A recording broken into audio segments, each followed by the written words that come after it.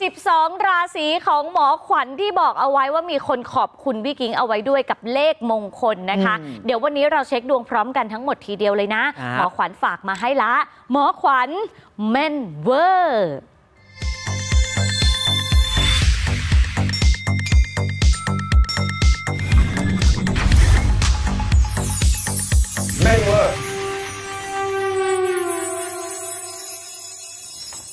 ทั้ง 12 ราศีมากองกันตรงนี้ที่หน้าจอทีวีได้เลยค่ะอืมทุกวันเสาร์อาทิตย์นะคะ คุณผู้ชมช่วงเวลาประมาณเนี้ย6โมงครึ่ง บวกลบไม่เกินนี้มากเท่าไหร่นะคะ เราจะมาเช็คดวงไปพร้อม ๆ กัน สัปดาห์หนึ่งมีแค่ 2 ครั้งเท่านั้นนะ เพราะฉะนั้นวันนี้ทั้ง 12 ราศี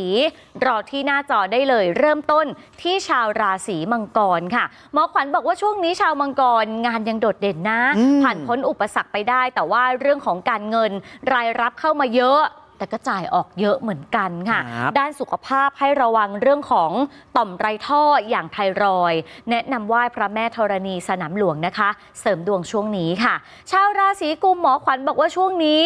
เรื่องงานเหนื่อยหน่อยนะ แต่ว่าการเงินดีมากๆ จะมีรายได้จากหลายทิศทางเข้ามาอืมแล้วดาวศุกร์จะมีจ็อบพิเศษด้วย ผู้ใหญ่ก็ให้ความช่วยเหลือกันเป็นอย่างดี แนะนำเสริมดวงไหว้พระแก้วมรกตวัดพระศรีรัตนศาสดารามก็ได้สำหรับคนที่อยู่ในพื้นที่กรุงเทพมหานครค่ะครับส่วนชาวราศีมีนค่ะ ช่วงนี้จะตัดสินใจลงทุนทำอะไร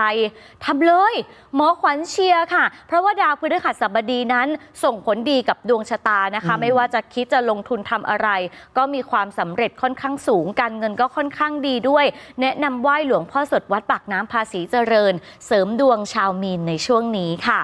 ส่วนชาวราศีเมษหน้าตาสดใสนะคะ ในช่วงนี้ก็มีความคิดอะไรใหม่ ๆ เริ่มกิจการใหม่ ๆ ลงทุนต่อยอด ขยับขยายแล้วก็เจอกัลยาณมิตรที่ดี ถือเป็นจุดเปลี่ยนของดวงชะตา ด้านการเงินก็เป็นเรื่องที่ดีด้วยนะคะ แนะนำนะคะก็ไหว้คุณแม่บุญเรือนวัดอาวุธเสริมดวงในช่วงนี้ค่ะอืมชาวราศีเอาขออภัยเมื่อสักครู่นี้อะชาวราศีเมษนี่ครบแล้วครบแล้ว เออเขาใส่มาให้สองครั้งเลยนะพี่เออมาร์คกลัวมองไม่เห็นครับชาวราศีพฤษภบ้างค่ะ ช่วงนี้แม้ว่าชีวิตจะวุ่นวาย แต่ว่าไม่ได้ส่งผลอะไรกับดวงชะตานะคุณผู้ชม แนะนำปล่อยปลาหน้าเขียงค่ะ เพราะว่าจะช่วยเร่งในเรื่องของโชคลาภแล้วก็การงานเสริมดวงให้ดีขึ้นได้นะคะ ช่วงนี้แนะนำถ้าเกิดว่าใครอยากเฮงๆปังๆ เข้าไปกราบพระแก้วมรกตค่ะ ส่วนชาวราศีเมถุนนะคะ ช่วงนี้ก็ทุกอย่างเป็นไปในทิศทางที่ดี